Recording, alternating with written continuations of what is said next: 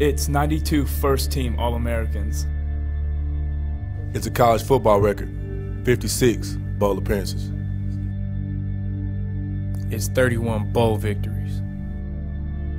It's 21 Southeastern Conference championships. It's 12 national championships. At some places, they play football. At Alabama, we live it.